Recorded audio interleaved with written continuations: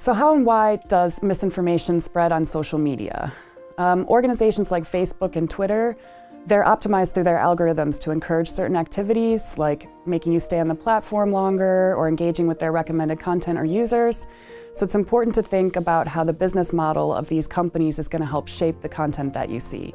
And in addition, the structure of social networking sites has made it easier to amplify lots of different ideas and positions, a structure that we know has been infiltrated by various entities to promote misinformation.